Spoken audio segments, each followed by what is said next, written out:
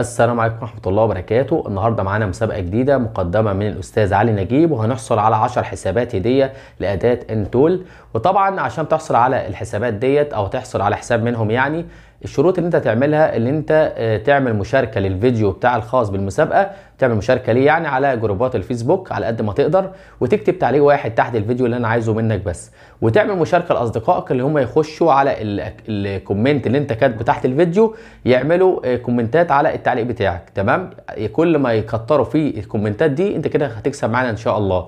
علشان إن شاء الله أول ما الفيديو ده يترفع هجيب أقدم ناس يعني هنزل من التعليقات تحت خالص هجيب أقدم ناس لحد فوق. تمام؟ عشان الناس تبقى عارفة. زي ما أنا عملت كده في قرعة العود الإسلامي. يعني اللي عايزه منك هتكتب تعليق واحد وتجيب آه، كومنتات كتيره على التعليق بتاعك. تجمع أصدقائك يخشوا يكتبوا تعليقات على ال comment بتاعك انت تمام؟ وطبعا الأكتر واحد هياخد تعليقات أكتر هو ده اللي هيكسب معانا من ضمن العشرة تمام؟ دي شروط المسابقة مش عايز أكتر من كده. طبعا عشان ما أطولش عليكم هنخش على جهاز الكمبيوتر ونشرح الأداة برضو بشكل مبسط كده. وطبعا زي ما إحنا متعودين لو أنت أول مرة تخش القناة ما تنساش تعمل شكل القناة وتفعل زر الجرس. واعمل share لاصحابك عشان غيرك يستفاد. ما تنساش تدعمنا ب like لو عجبك الفيديو ونتجه على جهاز الكمبيوتر ونشوف الاداة على جهاز الكمبيوتر هنبدأ نشرح الأداة بس طبعا قبل ما نشرح الأداة اللي عايزه منك طبعا اللي أنت تكتب تعليق واحد تحت الفيديو زي ما أنا قلت وتجيب عدد كبير من الكومنتات على التعليق بتاعك. وطبعا تفعيل الأداة هيبقى سنتين يعني لما تكسب معانا إن شاء الله هتحصل على تفعيل لمدة سنتين. وطبعا الاداه دي بتشتغل على كذا جهاز زي ما أنا قلت كده وبين كل جهاز ست ساعات تمام؟ ده اللي أنا عايزه منك. وطريقة التسجيل في الأداة إن شاء الله لو كسبت معانا أنت بتسجل user اسم يعني و password وأبدأ أفعلك لو كسبت معانا إن شاء الله. تمام؟ نشرح الأداة ونشوفها كده. طبعا الأداة بتفتح معاك الواجهة دي ودي آخر إصدار اللي هي 1 6 4 تمام؟ ده آخر إصدار حتى الآن. لو في تحديث طبعا بيطلب منك تعمل update طبعا ده قسم خاص بأجهزة سامسونج. يعني القسم ده كده كده كله تقدر تستخدمه لأجهزة سامسونج. وطبعا في أقسام تانية. ده قسم تفليش. تمام؟ تقدر تختار الفلاشة من هنا وتبدأ تفلش أو تتخطى حساب جوجل للأجهزة القديمة من أول أندرويد 5 لأندرويد 7 وهنا بيعمل عملية إصلاح لل PIT لو مثلا الكابل اتهز منك أثناء التفليش فبيجيب علامة تعجب كده فبيعمل إصلاح للمنطقة دي. وهنا بيدخل الجهاز آه،. بتعمل read info يعني في وضع ال download ووضع ال MTP يعني الجهاز يبقى عليه password أو وضع التفليش. يعمل read info يعني قراءة للبيانات بتاعت الجهاز. وهنا قائمه test mode دي قائمه آه، بتفتح اللي هي قائمه ال test mode اللي هي قائمه الاختبار اللي هي مكالمات الطوارئ اللي هي نجمه شباك zero نجمه شباك وللأجهزة القديمة أو الاجهزه الحديثة ثلاث قوائم تقدر تستخدمها وتخطى حساب جوجل وتبدأ تفعل ADB من هنا عشان يجي لك إشعار اللي هي بتديله عملية سماح. وهنا بتقفل حماية النوكس لو أنت فعلت مكالمات الطوارئ زي التابات المدرسية عايز تقفل حماية النوكس وكده. تمام؟ لو فتح معاك وبتبدأ آه، تعمل أي عملية. وعشان الناس تبقى عارفة هنرجع تاني كده. ال- القايمة دي يا جماعة عشان تبقوا عارفين ممكن تفلش ملف user data ممكن تفلش ملف user data من خلال القائمه ديت تمام؟ أي اختيار من ده مثلا AP مثلا تفلش منه ملف ال user data وبعد كده هتلاقي ال tab اتفرمت معاك. عشان الناس تبقى عارفة. يعني أنا ممكن أفلش من فلاشة اللي مثلا tab T 5 05 N حماية 5 مثلا هنزل له ملف ال user data وأبدأ افلشه بال AP مفيش مشكلة. وأبدأ الجهاز هيفلش معايا. هيعمل زي format للجهاز ما تفلش user data وبعد كده بتعملوا ضبط مصنع زي ما إحنا عارفين علشان المساحة تبقى كاملة بالذات في ال tab ده. وبعد كده بتخش على مكالمات الطوارئ تمام؟ وبتكتب بقى إيه؟ الكود اللي هو نجمه شباك zero نجمه شباك. آه وبعد كده تفتح تقفل النوكس آه حماية النوكس يعني اللي هي الاختيار ده. طبعا دي قائمه برضو في وضع ال MTP. تمام؟ كل قسم بيظهر لك كلمة بين قوسين كده ال MTP MTP يعني جهاز واقف على ال password واقف على حساب جوجل كده يعني. دخول الجهاز في وضع ال download دخول تعمل ضبط مصنع تعمل قفل ال update تقدر تعمل كمان بس طبعا ADB يعني تبقى مفعل خيارات المطور ADB تبقى مفعل خيارات المطور. تحذف حساب سامسونج لو أنت مش عارف تحذفه والجهاز شغال تمام؟ طبعا بتضيف اللغات آه، طبعا من أول أندرويد 9 لحد 13 وكمان برضو في أجهزة تانية من أول 4 لحد 8 والدخول هنا في وضع ال fastboot آه، قصدي وضع ال- في وضع ال ADB تبقى مفعل خيارات المطور دخول وضع ال download أو وضع recovery أو وضع ال bootloader تمام؟ طبعا القسم ده خاص بعملية إصلاح ال boot للأجهزة ديت بس تجريبي تمام؟ لو الجهاز قاطع منك طبعا ده من معالجات ال MediaTek وطبعا قسم خاص بال MediaTek اللي طبعا عن طريق ال test point أو عن طريق زر تعديل صوت خفض الصوت على حسب ما هيقبل معاك ال brom أو preloader أو ال download التفليش أجهزة ال download يعني على حسب ما يقبل معاك الأجهزة اللي بتقبل تمام؟ وطبعا قوائم كتير زي ما أنتم شايفين كده آه، من خلال القائمة دي وهنا طبعا recovery TWRP recovery معدل تمام؟ ودي قائمة خاصة بالقسم اللي خاص بأجهزة ال MediaTek طبعا. طبعا بتفك ال bootloader وتقفل ال bootloader وتعمل read info وتعمل تخطي حماية المعالج وتعمل خروج أو إصلاح ل للوضع ال recovery. لما يبقى داخل على وضع ال recovery لاجهزه الميديا تك تمام؟ وبيعمل إصلاح لل health اللي هو خاص بالذاكرة. يعني بيشوف لك الذاكرة دي آه كاملة آه شغالة ولا فيها أخطاء. يعني يعرفك الذاكرة دي IC ذاكرة ولا سليم من خلال الاختيار ده. ضبط مصنع برضو آمن وهنا format برضو خط حساب جوجل كذا اختيار. وهنا بيصلح آه بيعمل إصلاح للجهاز يبقى واقف على رسالة DM تمام؟ وبيبدا يعمل إصلاح ليها زي الموجودة في أداة ال Unlock Tool وهنا بيعمل مسح لحمايه الخصوصية الاختيار ده تمام؟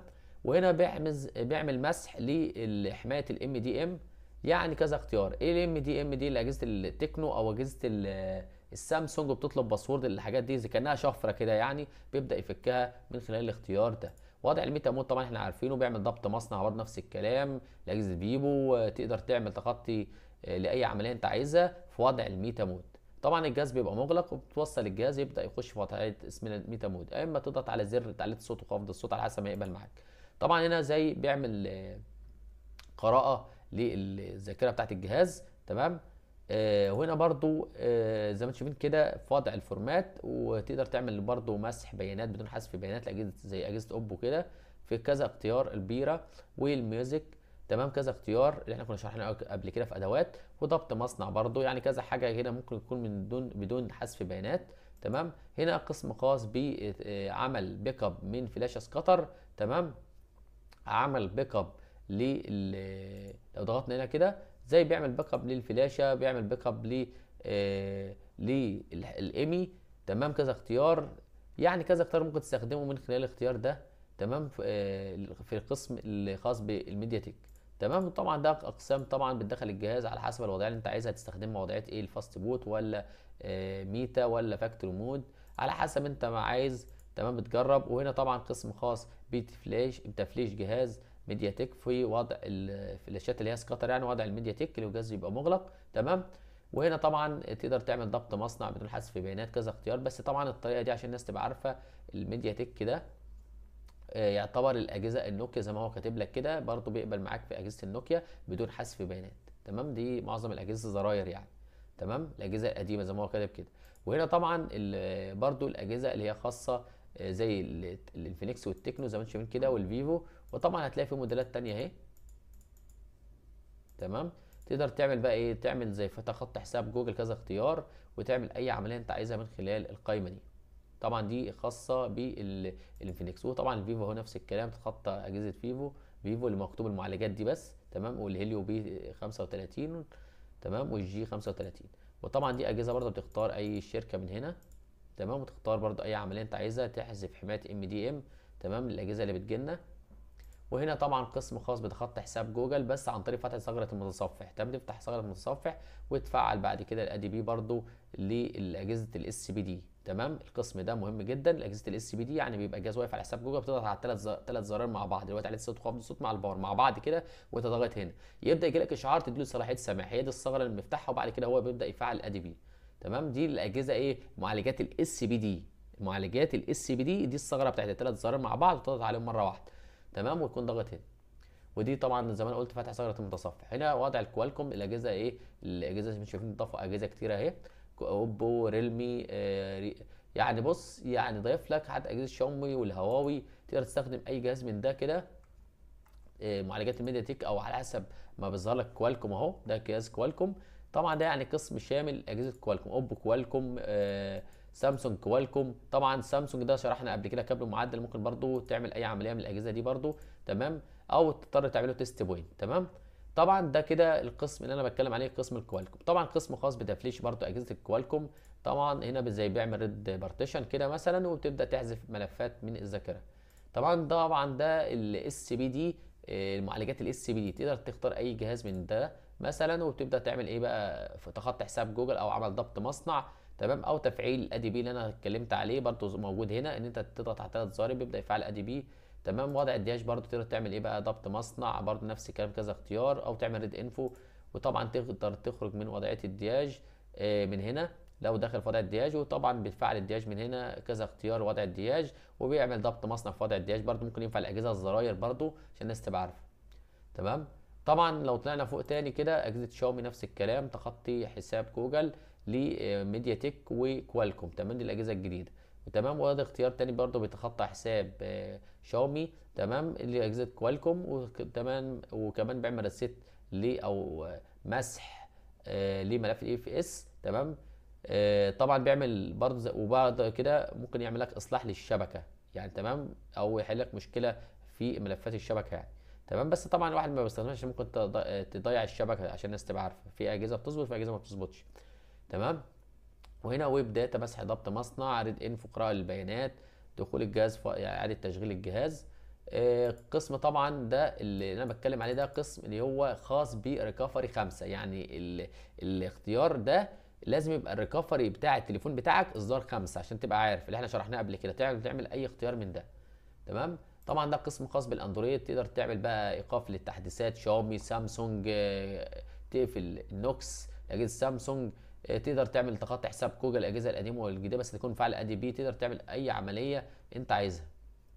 تعمل تقدر برضو تعمل آه، تخطي آه، تعمل ريموف للفيروس اللي بيبقى موجود على الأجهزة الأندرويد تمام؟ يعني كذا اختيار تقدر تستخدمه الاختيارات ديت وكل اختيار مكتوب وظيفته إيه تمام؟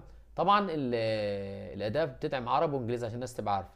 هواوي برضه نفس الكلام. ده برضه معالجات الكريم تختار أي جهاز من ده وبتبدأ تتخطى حساب جوجل وبتدخله آه، في العملية اللي انت عايز تعملها إيه. تمام؟ يعني تيست بوينت أو بتوصله آه، طبعا بس معظم معالجات الكير عشان تبقى عارف هي بيبقى تيست بوينت بس في أحيانا تيست بوينت لازم تعمل كابل معدل عشان تبقى عارف. كنت شارحه في القناة عندكم. وبرضه تعمل أي عملية من العمليات دي. تخطي حساب جوجل فك البوت لودر على حسب ما يقبل. حساب هو آي دي. تمام؟ هنا برضه آه، حساب هو آي دي. تقدر تعمل بيك اب قبل ما تعمل العملية دي. تعمل باك اب وتستعيد الملف ده. لو قدر الله حصل حاجة تستعيد الملف الاو اي ام انفو ده مهم جدا قبل تخطي حساب هو اي دي لازم تتأكد من الحتة دي. طبعا ده برضو تقدر تتخطى تفعل ادي بي آه، لأجهزة هواوي اللي إحنا شرحناها قبل كده لحد اندرويد 8 بيفتح آه، بعد كده توصل الجهاز ويبدأ الجهاز يعمل إعادة تشغيل يفتح تاني. بعد كده يجيلك رسالة سماح. ده اللي بيقبل معاك الثغرة دي في الأجهزة اللي آخرها اندرويد 8 تمام؟ هنا برضو قسم خاص استخراج ملف اي بي بي تمام؟ آه، معالجات الكرين استعمال استخراج يعني ممكن احولها اي إكس اي إكس ام إكس ام ال أو يستخرج ملف بطريقة ثانية تقدر تفلشها على عن طريق الأداة أو عن طريق أدوات ثانية وهنا برضو بستخرج ملف آه، برضو بيحول ملف الاكس ام الاكس ام ال تمام؟ آه، هنا برضو بيحول الفلاشات اللي هي ميديا تك أو الكوالكوم الاو اف بي تمام؟ استخرجها برضو بصيغة سكاتر أو صيغة إكس إم إل وتستخدمها برضو وتفلش عشان الناس تبقى عارفة. آه، طبعا هنا برضو قسم خاص بعمليه الام تي كي ملف الدي اي برضو تختار ملفات هنا خاصة بعمليه البوت تمام؟ هنا برضو في وضع الفاست بوت زي ما أنتم شايفين كده تقدر تستخدم أي عملية انت عاملها عايز تعملها من هنا زي برضو إصلاح مشكلة الدي ام لما يبقى الجهاز واقف تخطي حساب جوجل فك البوت لودر عمل الريسيت اف ار بي تخطي حساب جوجل اجهزه السم المعالجات الاس سي بي دي تقدر تعمل أي عملية. تمام؟ دي كده الأدوات اللي إحنا شرحناها. وطبعا آه، في قسم هنا تاني عشان الناس تبقى عارفة ده قسم التست بوينت تختار أي جهاز تعرف التست بوينت بتاعه وتقدر كمان تعرف آه، طريقة استخدام التست بوينت لأجهزة هواوي والأجهزة المدعومه أهو. تمام؟ طبعا عشان تختار اللغة عشان تختار اللغة ممكن مثلا تضغط هنا كده وبعد كده بتظهر عربي أو إنجليزي. تختار هنا عربي أو إنجليزي وتضغط هنا ابلاي وبيظهر لك طبعا أنت مفعل معايا بيظهر لك التاريخ هتنتهي إمتى التفعيل بتاعك. تمام؟ دي شرح الأداة. وطبعا الاداه بسيطة جدا وطبعا بتحتاج إنترنت يبقى متصل عشان تشتغل معاك. بتحتاج إنترنت متصل عشان تشتغل معاك تمام؟ هنا لو عايز تثبت التعريفات تثبت أي تعريفات وعمل إصلاح مشكلة الشاشة الزرقاء اللي أنت مثلا بيبقى ثبت تعريفات خاطئة بيبدأ بعد كده يحذف لك إيه تلاقي الجهاز جاب شاشة زرقاء أول لما توصل الجهاز بيعمل إصلاح ليها. يعني عندك قسم خاص بالتعريفات داخل الاداه يعني حاجات حلوة. وهنا قسم خاص بالشروحات يعني أنت لو مش عارف مثلا آه حاجة في الفيديوهات دي مش عارف حاجة مثلا في حاجات معينة هتلاقي في شرحات هنا لأجهزة تقدر تستفاد منها عشان الناس تبقى عارفة. ده شرح الأداة وشرح مبسط تمام؟ وطبعا زي ما إحنا متعودين آه، لو عجبك الشرح بتاعي ما تنساش تعمل شير للقناة وتفعل زر الجرس واعمل شير لاصحابك أصحابك عشان غيرك يستفاد وما تنساش تدعمنا بلايك لو عجبك الفيديو والسلام عليكم ورحمة الله وبركاته.